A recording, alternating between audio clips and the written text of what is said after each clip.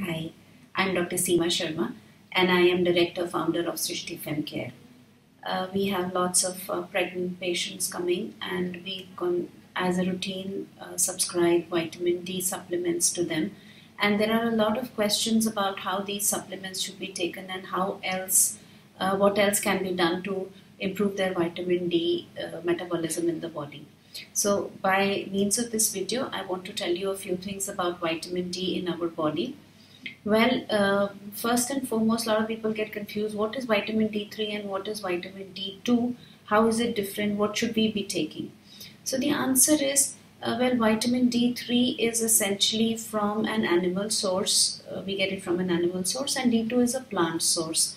And uh, there is a possibility that your doctor may initially give you uh, vitamin uh, D2 because it rises quickly in the body and uh, for sustenance, you know, because something stays in our system for longer, we usually prescribe D3. Uh, but this was just to give you a theoretical background. It is okay if your doctor has just prescribed you one particular type, and D3 is the more common type which is available in our country. Now, uh, people usually ask me, Doctor, should I be taking it in the morning or evening, whether I should be taking it with meals, or how should I be taking it? So the answer is uh, vitamin D is, uh, well, it's a fat uh, dissolving vitamin.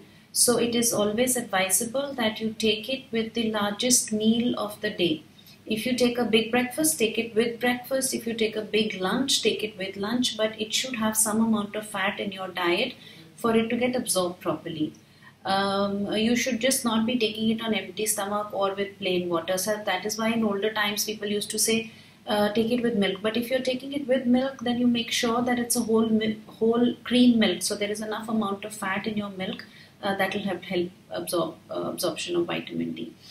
Then uh, also, if uh, usually people are taking multiple supplements, so if you've been taking, say, your calciums or your omega 3 you should take them all together so calcium and vitamin d uh, increase each other's absorption and also uh, omega 3 will also help in the absorption of vitamin 3 so vitamin d. So if you're taking them all together it's always better for the system.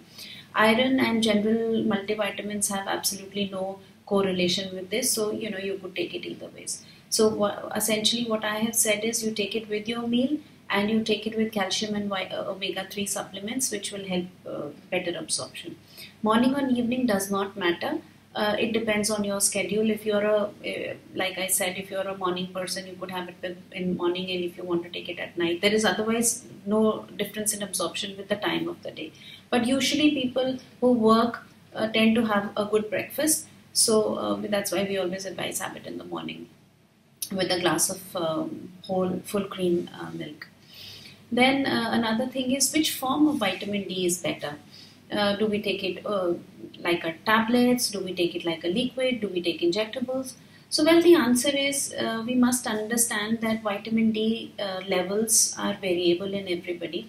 There is one a normal range which your doctor can tell you if you've got a test done. Uh, then there is an insufficiency, whereas you're close to border, but you're still the levels are low. And there is one deficiency, where there is like a gross decrease in the vitamin D level in your system. So uh, it depends on how much vitamin D supplementation you are looking at. For most people, oral absorption is enough. Oral tablets are enough. They are cheap, easily available, and there is not much problem in storage. Then there is a newer form, which is a liquid form. There is a 5 ml bottle, which is available, and it will give you a lot of uh, vitamin D. And they say, well, absorption is better. I don't deny the absorption might be slightly better because the technology of production is such that uh, the absorption might be better but it is much more expensive as compared to the tablet. So uh, you have to see and some people don't like the taste and some people can't take the liquid form of it. They find taking a tablet easier. So a tablet or a liquid essentially is a choice. Then comes whether do we need injectables? Iv uh, vitamin d. Again as i said if you have too much deficiency of vitamin d those injections might make sense but these injections are painful and they should not be taken routinely if you can manage with tablets that's well that's about it uh, then another uh, thing a lot of people ask me is uh, what do I do to increase my vitamin D when, when they see the levels are uh, quite bad? And especially, uh, you know, earlier we used to say India has a lot of sunlight, so there is not much problem with uh, vitamin D, but that's exactly the point. The sun is so harsh that we can't really go out in sun uh, and make vitamin D in our system. So we need to rely on either food or or supplements to have our vitamin D in place. Uh, if your vitamin D is borderline low, most people have some issues with bones. The osteoporosis comes early, bone pains come early. Uh, you know, babies can have rickets or you know bossing of their forehead. Uh, and if the deficiency is too much, you know, you would also have problems with your muscles, which we call as a myopathy.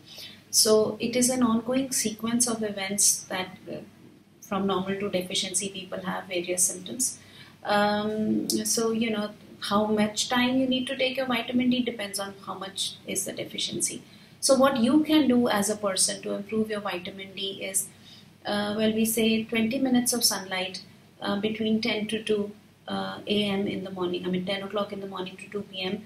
Uh, when you've not been wearing clothes or not applied sunscreen on major part of your skin, like your hands or your legs. If you if you're going in sun fully clothed, then this has got no meaning.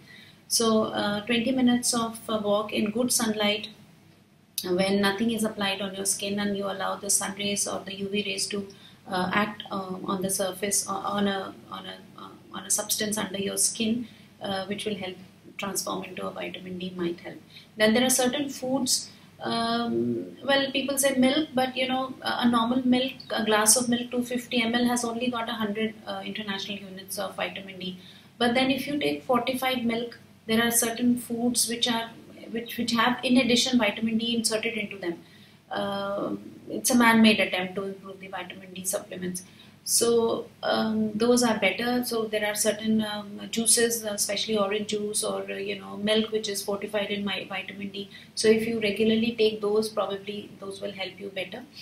So um, I guess foods-wise, seafood is very rich in vitamin D.